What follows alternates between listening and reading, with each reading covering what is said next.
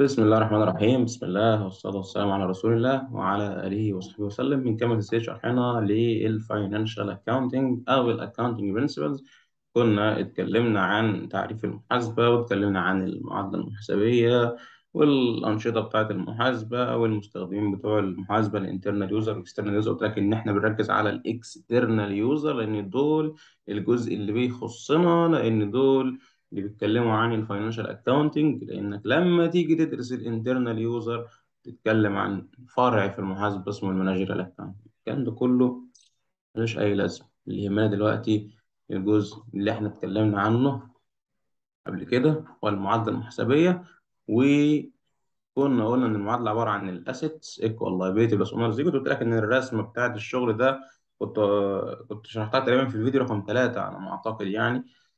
فموجودة في الملف ده واتكلمنا على إيه حوار ال dual effect اللي بيحصل في المعادلة إن ال assets عشان تزيد assets زادت يبقى أكيد هيحصل زي إحنا في ال liability أو في ال owner's equity أو ال assets لو تزيد ال assets كمان تقل عشان خاطر المعادلة لازم تكون موزونة الطرف الشمال. بي... بيساوي الطرف اليمين assets equal liability plus owner's equity أنا النهارده في فيديو صغير session بسيط خالص هتكلم عن ال owner's equity فقط لا غير. اتكلم على مين؟ على حتة زنطوطة خالص. هي ال owner's equity إيه هي ال owner's equity مبدئيا كده صلى على النبي. ال owner's equity ليها مسمى تاني زي ما قلت لك net worth أو هنسميها ending capital ending capital يعني رأس المال في نهاية المدة. رأس المال في نهاية المدة. يعني يا محمود مش فاهم. صلى على النبي. القانون بتاعها عبارة عن ال beginning capital دلوقتي نكتب بقى كده. عندي beginning capital يعني أنا أول جاي أبدأ مشروع. بداية المشروع بتاعتي فيه رأس مال بدايته مثلا مية ألف جنيه. حلو الكلام؟ حلو الكلام. وجيت عملت كمان يعني خلاص أنا دخلت حطيت فلوس المشروع 100000 جنيه تمام؟ وبعدها بشوية رحت عملت استثمار. عملت استثمار investment الاستثمار ده يعني أنا بزود فلوس ولا بقلل فلوس؟ لا أنا كده معنى الكلام إن أنا بزود فلوس. investment كام؟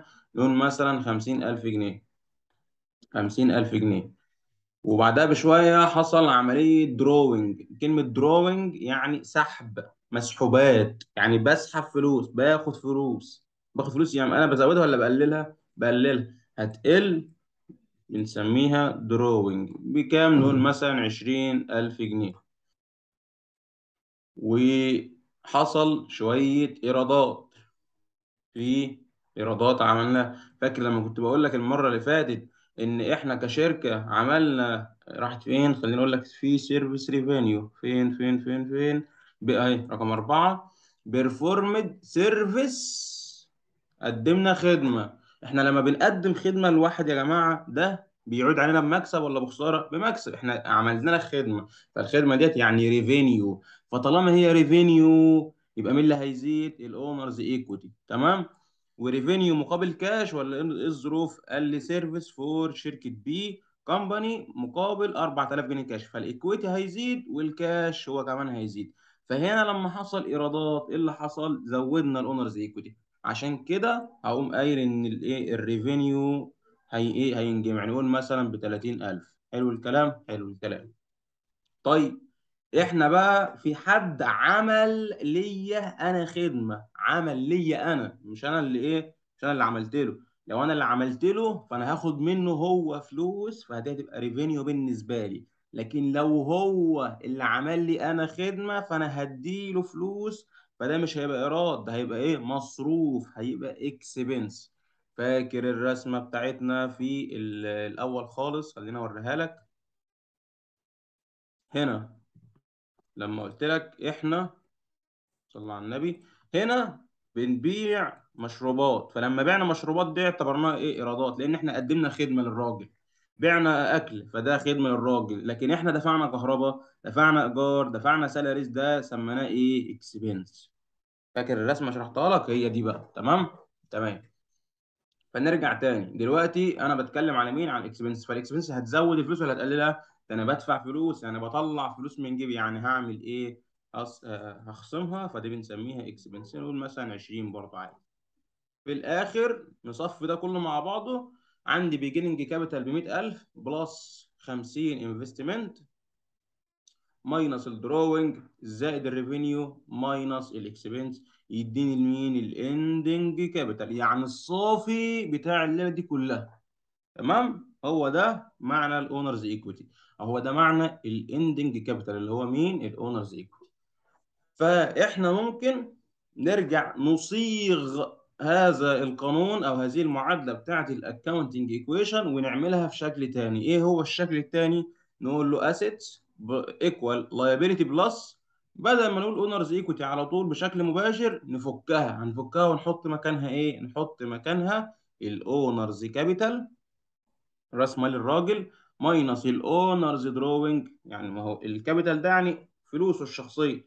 إيه اللي يقلل فلوسه الشخصية؟ إن يحصل منها سحب ال drawing وإيه اللي يزود فلوسه الشخصية؟ ال revenue وإيه اللي يقلل رأس المال؟ ال expense تمام؟ يبقى دي صيغة للموضوع. طبعا هنا بيقول لك بشكل بسيط كده إيه اللي بيقلل رأس المال لو أنا سحبت فلوس أو دفعت فلوس مصاريف طب إيه اللي يزود رأس المال لو أنا عملت استثمار أو حققت إيرادات؟ نتيجه إن أنا قدمت إيه؟ خدمة. تمام؟ طيب. بالمناسبة طبعا لو حضرتك كنت عندك كان عندك إيرادات أدي المصروفات وكانت الإيرادات مثلا ب 200000 جنيه والمصروفات بمثلا ب 150000 جنيه.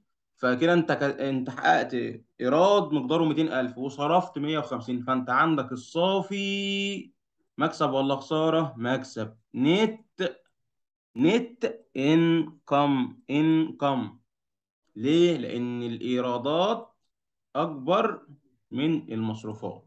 حلو الكلام؟ حلو الكلام. لكن لو حصل العكس إيه هو العكس؟ بدل الإيرادات كانت 200 وخ... 200 نقول المصروفات بقت 250 تمام؟ تمام. فكده أنا عندي المصاريف أكبر من الإيرادات بمقدار قد إيه؟ مقدار 50000 يبقى ده نت إنكم؟ لا طبعا. ده نت إنكم يعني صافي الدخل صافي المكسب. مكسب يعني محقق إنكم مكسب أهو بقى. أما ده يبقى نت إيه؟ نت لص. صافي الخسارة. لأن أنا مصاريفي أكتر من إيراداتي. فعشان كده بيقول لي إن ال ال ال لو أنا عايز أحسب ال net income أو ال net loss بطرح الإيرادات ناقص المصروفات. لو ال revenue أكبر من ال expense فده هيديني net income ولو ال revenue أقل من ال expense فده هيديني إيه؟ net loss حلو الكلام حلو الكلام. بيوضح لي بقى اختصار للكلام اللي إحنا قلناه فوق ده اللي هو بتاع المعادلة دي. وبيقول لي إن ال owner's إيه اللي بيزود ال owner's equity إحنا قلنا اللي بيزود ال owner's equity فوق أهوت ال investment وال revenue طيب تعال نشوف الكلام ده. قال لك ال owner's investment ده بيزود الإيرادات. اللي هو ترجمته فات استثمارات المالك. المالك هيعمل استثمار. ال recorded بيتم تسجيلها في مين؟ في ال owner's capital ده كلام مظبوط. ال owner's capital اللي هو يا محمود اللي قلت لك عليه ده هو ال owner's capital اللي هو الحتة دي. تمام؟ ده الاستثمار يعني. and revenue والإيرادات كمان بتعمل إيه؟ بتزود ال owner's equity الإيرادات resulting from business activity. الإيرادات دي بتحصل إمتى يا جماعة؟ مش هتحصل لوحدها أكيد. هتحصل لما الشركة بتعمل نشاط. نشاط الشركة اللي هو إيه برضه؟ entered for earning income. نشاط الشركة بتدخله عشان تقدر تحقق من خلاله مكسب. زي إيه؟ selling merchandise الشركة باعت مخزون فلما بتبيع دخل جيبها فلوس. performing service الشركة بتقدم خدمة. خدمة مثلا إيه؟ صيانة سيارات مثلا. تمام؟ renting أو بيع أكل أو بيع مشاريب عادي جدا. renting property إيجار. أنا بأجر ممتلكات. أنا كمحمود مثلا عندي بيتين اتنين ففي شقة مش بستخدمها. أنا بأجرها فأنا بيجي لي من الإيجار ده فلوس. الفلوس دي تعتبر مكسب ده revenue فده أكيد هيزود رأس المال بتاعي أنا. and lending money أو إن أنا أعمل اقتراض للأموال. يعني إيه؟ يعني أنا بستلف فلوس. أنا رحت لمكة قلت لها يا مكة أنا عايز منك مليون جنيه. فادتني مليون جنيه. تمام؟ فالاقتراض ده زود في رأس مالي ولا ما زودوش؟ آه زوده لأن أنا استلفت منها فلوس. أو إن يحصل عملية sales مبيعات. مبيعات حصلت ودخل جيبي فلوس. أو fees رسوم الرسوم اللي هي إيه آه أنت مثلا عشان تخش نادي الغزل في شبين تقطع ticket ال ticket ده رسوم دخل آه رسوم دخول النادي بتاع الغزل. تمام؟ تمام. آه ال service آه خدمات قدمنا خدمة. ال commissions اللي العمولات على كل كذا بتاخد نسبة قد إيه. ال interest الفوائد. ال dividend توزيعات الأرباح. يعني الشركة راحت موزعة فلوس. تمام؟ توزيعات أرباح ده مكسب بالنسبة لك فده بيزود إيراداتك. ال royalties اللي هي الإتاوات دي بقى خاصة إيه نتكلم على زي أيام زمان أيام الاستعمار والكلام ده كله ما لناش دعوة بالكلمة دي خالص. وال rent الايه الإيجار قلنا قلنا من شوية. طيب إيه تاني اللي بيزود رأس المال؟ ال dividend توزيعات الأرباح. إيه ظروفها are the distribution of cash عبارة عن توزيعات للكاش or other assets أو أي assets تانية. لمين؟ لل shareholders الملاك أو المساهمين في الشركة. وده بيقلل ال retained earning مالناش دعوة بالكلام ده دلوقتي لسه بدري عليك. وده يعتبر لا يعتبر كمصروف بالنسبة للشركة. الشركة بتوزع فلوس دلوقتي الشركة يا جماعة أنا قلت لك قبل كده إن الشركة ديت كيان مستقل بذاته شخصية اعتباريه فالشركة هي اللي بتوزع فلوس مش محمود اللي بيوزع فلوس. فالشركة لما توزع فلوس محمود هياخد فلوس من الشركة. فراس مال محمود إيه اللي جراله راس مال محمود زاد. إيه اللي يزود كمان ال owner's equity ال dividend يبقى أنا عندي ثلاث حاجات. ال investment ال revenue ال dividend كل دول بيعملوا عملية increase لل owner's equity طيب. إيه اللي بيقلل ال owner's equity عندي زي ما قلت لك فوق من شوية ال drawing المسحوبات وكمان ال expenses فبيقول لي owner's drawing and expenses decrease owner's equity ماشي. ال drawing دي ممكن نسميها معنى لفظ تاني. ال withdrawals ال withdrawals يعني السحوبات سحبنا فلوس برضه نفس الكلام. is the owner's withdraw of cash or other assets for personal use الراجل ده بيسحب فلوس للاستخدام الشخصي. فلوس أو assets عادي يعني. ال expenses اللي هي المصاريف هي عبارة عن إيه؟ are the cost of تكاليف الأصول. consumed المستهلكة أو الخدمات ال service used in the process of earning revenue. طبعا يا جماعة بمنتهى البساطة أنا راجل عشان خاطر أقدم خدمة للناس صرفت فلوس عشان أقدم لهم الخدمة دي. صح؟ يعني أنا دلوقتي راجل فاتح المغسلة. أقدم خدمة للناس إزاي؟ من غير ما أشتري الأدوات بتاعة المغسلة. تمام؟ مش لازم أشتري أدوات. فالأدوات دي عشان أشتريها هي بالنسبة لي تعتبر إيه؟ expense صح؟ تمام؟ لما قدمت الخدمة جالي منها إيرادات فعشان أقدم revenue لازم الأول أكون عملت عملية expense مصاريف عشان أقدر أقدم الخدمة دي. ما أنا مش هينفع أقدم خدمة غير لما أكون أصلا صارف. صح؟ صح. آه اللهم صل على سيدنا محمد. على سبيل المثال ال cost of goods تكلفه البضاعة المباعة. عشان أبيع بضاعة لازم الأول أكون صرفت عليها حاجة. أصرف الأول يعني حتى الجماعة اللي هم في السوق بيروحوا الأول يشتروا مثلا من الوكالة الكيلو مثلا ب 10 جنيه يجوا يبيعوا مثلا كيلو ب 15 جنيه. فهو الأول صرف 10 جنيه في الكيلو عشان هنا يجي يحقق earning revenue 15 جنيه والصافي بتاعه يبقى ال 5 جنيه الفرق ما بين ال 10 جنيه بتاعت الوكالة وال 5 جنيه اللي إيه اللي هي في السوق. Salaries and wages expense وكمان المصاريف بتاعه الإيه الرواتب والأجور بتاعه العمال دي مصاريف بالنسبة للشركة. ال utility expenses زي إيه؟ زي فلوس الكهرباء إيه فلوس الجاز فلوس ال water expense فلوس الايه المية. rent expense الإيجار برضو يعتبر كذلك كده. هنا قلت لك بقى أنا هنا اللي بأجر. أنا اللي بأجر. المرة دي أنا الإيه؟ أنا المستأجر. أنا اللي هاخد أنا اللي هدفع. أنا مستأجر بس؟ أنا اللي ه... أنا هأجر شقة من واحد تاني. مش أنا اللي هديله الشقة لأ ده هو اللي هيديلي الشقة فأنا اللي هديله فلوس. تمام؟ تمام. انترست زي حضرتك نبسط لك خالص الدنيا انت هنا قاعد مثلا في شبين الكوم فأنت شخصية مغتربة أنت طالب مغترب فأنت بتروح تأجر شقة فأنت هتدفع إيجار فدفع الإيجار ده بالنسبة لك إيه؟ رسوم. ده expense تمام؟ تمام. أو interest expense لو أنت اللي هتدفع فلوس الفايدة آه، أو property tax expense ده ضريبة الممتلكات. تمام؟ أي expense بقى خلاص ده هيقلل أكيد رأس الإيه؟ المال. فاللهم صل على سيدنا محمد بيقول لي classify each of the following items صنف لي أي كل واحد من دول. هل هو dividend ولا هو ده revenue ولا ده expense advertising expense أكيد expense ما هو إيه اللي هو expense تمام؟ ماشي. service revenue أكيد ده revenue insurance expense أكيد ده expense salaries and wage expense هو ده expense ال dividend هي dividend ال rent revenue هو revenue ال utilities expense هي expense بس خلاص. آه. كلام أهبل يعني يا جماعة والله الموضوع بسيط جدا. المحاسبة لذيذة المحاسبة لذيذة بس الفكرة في اللي بيشرح لك عشان تفهم منه ويحببك في المادة. فما تعقدش نفسك خالص الموضوع سهل. دور كبير جدا على اللي بيشرح وحضرتك تقدر تحصل منه أكبر قدر ممكن وبرضه تجتهد عشان خاطر إيه؟ ما هو مش هيشرح وأنت بقى خلاص يعني آه، ارشميدس ما هتقعد ع- خلاص هعتمد على الشرح خلاص. لازم أن تبذل مجهود برضه. اسمع اللي هو بيقوله وابدأ ذاكر على طول عشان خاطر تلاقي الدنيا سهلة وبسيطة.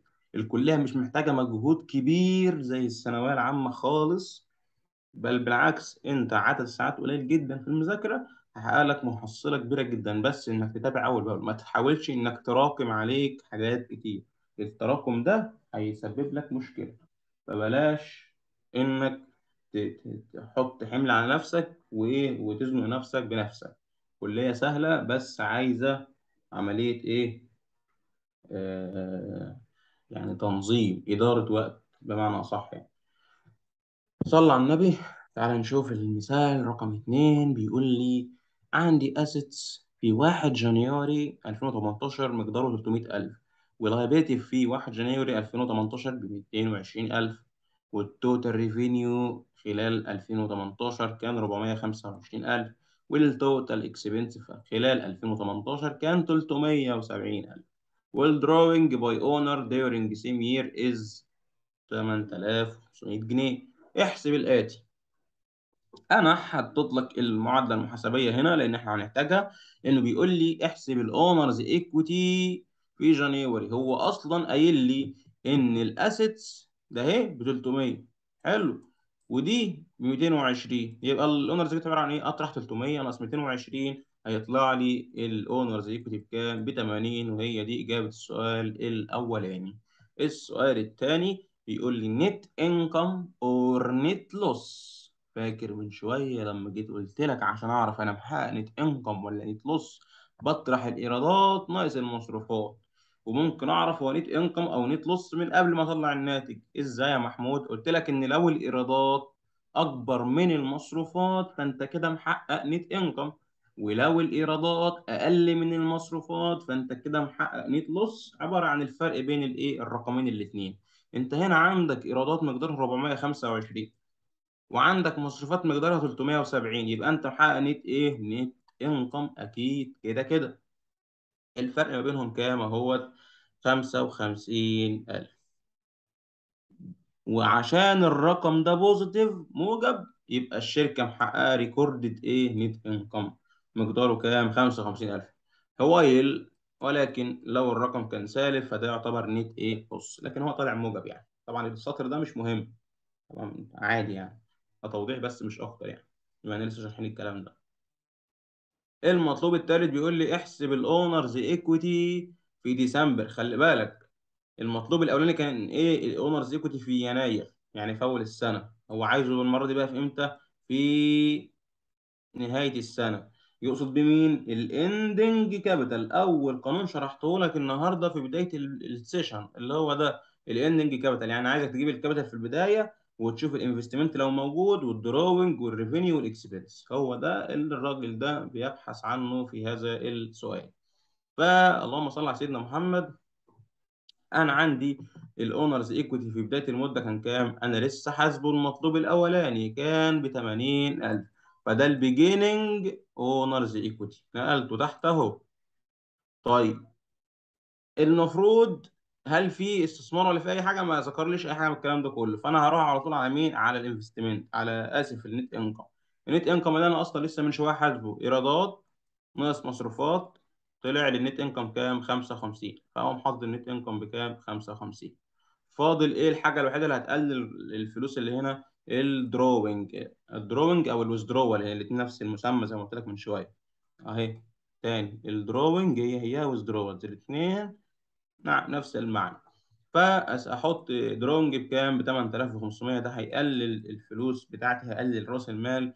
يبقى 80000 plus 55000 minus 8500 يطلع لي 126000 ده ال ending capital في ديسمبر 31 2018 آه اللهم صل على سيدنا محمد. بيقول لي a company has assets of 140000 عندي أصول قيمتها 140000 و liability قيمتها 60000 at the beginning of the year. وما ذكرليش ال owner's equity بكام. فأنا تلقائيا هحسب ال owner's equity بكام في بداية الايه السنة هو عندي assets ب 140 liability ب 60 يبقى ال owner's equity بكام؟ أكيد ب 80 آه لأن المعادلة أهي assets equal liability plus owner's equity أنا عندي ده ب 140 وعندي ده ب 60 يبقى أكيد ده بكام؟ ب 60 و80 يديني 140 دي الحتة الأولى. ماشي؟ تمام. وقال لي إن ال assets ب 200000 وال liability ب 70000 في نهاية السنة. دي في نهاية السنة. يبقى نفس الكلام. ال owner's equity في نهاية السنة بكام؟ عبارة عن ال 200 ناقص ال 70 يطلع 130 طيب. year آه 20000 was invested in the business وفي مسحوبات ب 24000 عملنا استثمار ده بيزود رأس المال بمقدار 20 وعملنا آه مسحوبات مقدارها 24000 دي بتقلل رأس المال. What's the amount of net income did the company earn during the year أنا أصلا عندي قانون بيقول إن ال ending of owner's equity عبارة عن ال beginning of owner's equity ال beginning capital يعني زائد الاستثمار plus ال net income minus المسحوبات اللي هو ال drawing أنا في المسألة لسه من شوية حاسب ال ending ده مطلعه ب 130 أدي ال 130 أهي. وكنت لسه من شوية حاسب ال beginning بكام؟ ب 80 أدي ال 80 أهي. ال investment مديهولي معطى بكام؟ ب 20000 الاستثمار ده بيزود رأس المال فزودت 20000 وال net income ده المطلوب اللي هو عايزه. فال net income ده مجهول بالنسبة لي. أهو ده المجهول. ومين المسحوبات؟ قال لي المسحوبات ب 24000 دي ال drawing. اهيت هتنسحب. يبقى أنا كده جبت كل أطراف المعادلة ما عدا مين؟ ال net income وأدي ده كله بإشارة مخالفة. 130 minus 80 minus 20 minus 24 يطلع الناتج كام؟ 54000 ده النت انكم يا جماعة موضوع سهل وبسيط. الجزء ده يا جماعة كنت عامله بخط إيدي بس أنا إيه فضلت أعمله لك كمبيوتر بقى نخلي الورق كله كمبيوتر. كنت عامله هنا أهوت بخط إيدي. ماشي؟ لكن أنا إيه نقلته لك بشكل كمبيوتر أفضل يعني والدنيا تبقى أريح لك في الورق آه كده خلاص الجزء بتاع النهارده خلص خلاص. كده حضرتك واقف على رجليك عرفت يعني إيه assets يعني إيه liability يعني إيه owner's equity وقلت لك ال owner's equity ليها قانون أقدر أحسبه بيه اللي هو ال ending capital عبارة عن البيجننج كابيتال بلس الانفستمنت بلس النت انكم بلس الريفينيو ماينس الدروينج وماينس مين؟ ال expense تمام؟ تمام. وال net income عبارة عن إيرادات ناقص مصروفات. الإيرادات لو أكبر من المصروفات فالشركة محققه net income. الإيرادات لو أقل من المصروفات فأنت كده محقق net loss وده كان حديثنا النهارده. المرة الجاية بقى إن شاء الله هنحل شوية transactions على ال chapter كله. عشان المرة اللي بعدها نبدأ نتكلم على جزئية جديدة هي ال financial statement القوائم المالية ونبدأ ندمج الكلام ده كله في بعضه إن شاء الله بإذن الله. صل على النبي قلبك واذكر الله. يا حبيب قلبي يلا سلام.